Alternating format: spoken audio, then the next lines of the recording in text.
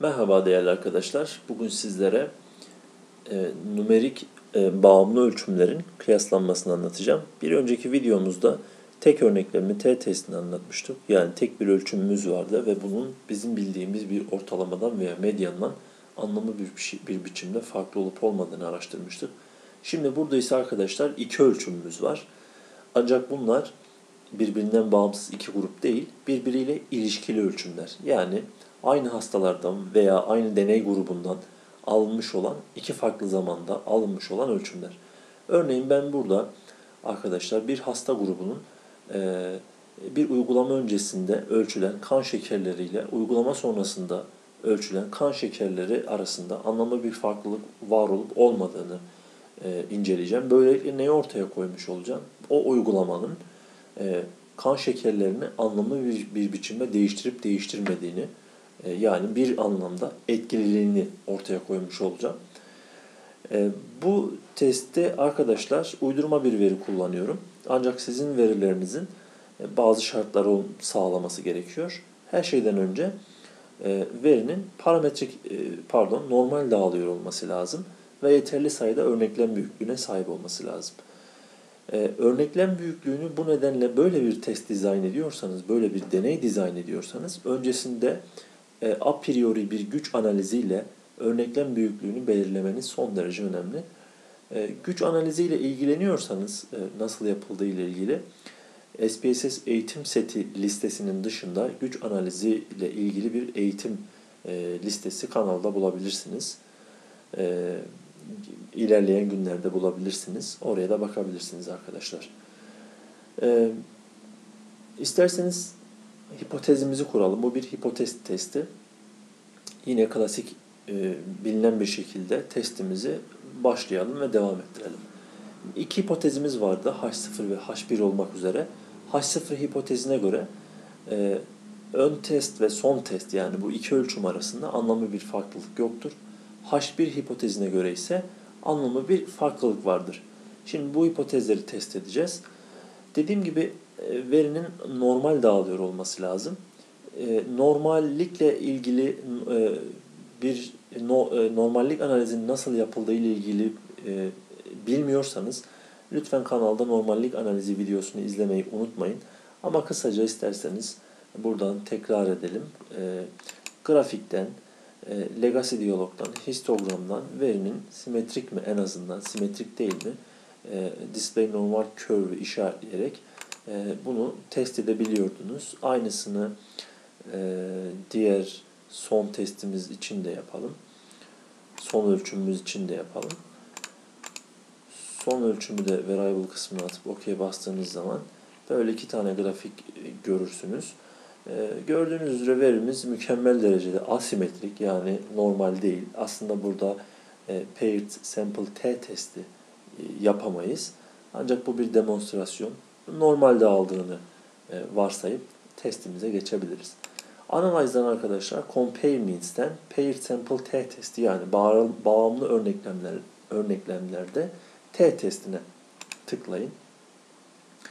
İlk ölçümü variable 1'e, son ölçümü variable 2'ye atın arkadaşlar.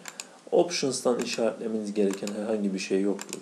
Aynı şekilde Bootstrap'tan da. OK'ye bastığınız zaman böyle 3 tane e, küçük tablolar gelir.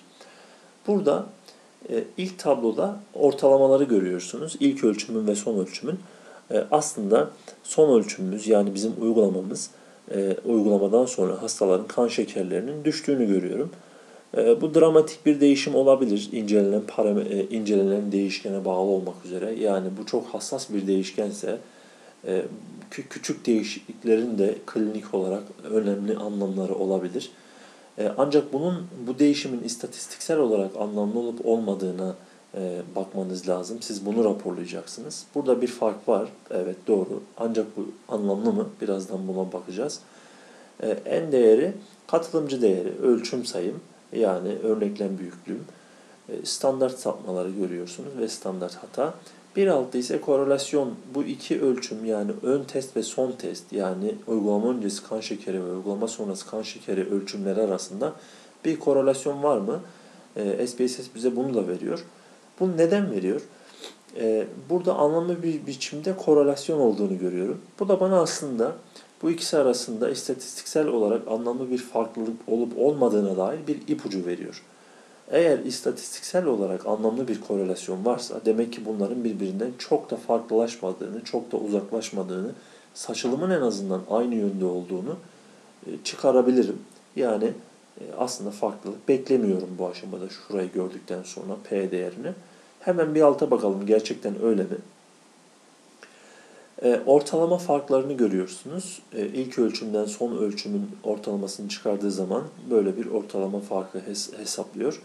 Standart sapma var, standart hata, güven aralıkları bunları e, makalenize veya tezinizi raporlarken bu tabloyu olduğu gibi koymanızı öneriyorum. E, T değeri var, test istatistiği ve bu T değeri ile serbestlik derecesi, degree of freedom, bunu bir e, bir videoda, kanaldaki bir videoda difference of freedom şeklinde ifade etmişim. Burası degree of freedom olacak arkadaşlar. Yani n eksi 1, katılımcı sayım eksi 1 e, olarak hesaplanan bir derece, bir değer. Bu serbestlik derecesi ve t değeri ile hayali dağılımdan yani z tablosundan bize bir p değeri hesaplıyor program. P değerinin ise 0,104 yani 0,05'ten büyük olduğunu, dolayısıyla ilk ölçüm ile son ölçüm arasında anlamlı pek de anlamlı bir farklılık olmadığını %95 ihtimalle pek de anlamlı bir farklılık olmadığını söyleyebilirim. Şimdi burada arkadaşlar e, bazı e, videolarda YouTube'da şöyle ifadeler duyabilirsiniz. Sosyal alanlarda P'nin 0,05'e göre 0,5'in altında anlamlı kabul edilmesi gerekirken e, tıp alanında e, bazı hassas klinik çalışmalarda bunun 0,01'den küçük olduğu zaman anlamlı kabul edilmesi yani güven aralığının %99 e, olarak alınması gerektiği şeklinde ifadeler duyabilirsiniz. Evet sizin çalıştığınız parametre çok hassas bir parametre ise ee, bunu bu şekilde de alabilirsiniz. Yani P'yi 0,01'den küçük olduğu durumda anlamlı kabul edebilirsiniz ki bu sizin güven aralığınızı %99'a çeker. Veya e, tıp alanında yine bir çalışma yapıyorsanız 0,05 de kabul edebilirsiniz. Zaten siz bunu raporladığınızda okuyucular sizin güven aralığınızın ne kadar olduğunu göreceklerdir. Bu test ile ilgili anlatacaklarım bu kadar. Oldukça basit bir test. Ee, bir sonraki videoda bunun non-parametrik karşılığı olan Wilcoxon testini anlatacağız. Ee, bunun gibi videoların devam etmesini istiyorsanız lütfen e, kanala abone olmayı ve videoyu beğenmeyi unutmayın. Hoşçakalın arkadaşlar. Herkese iyi çalışmalar.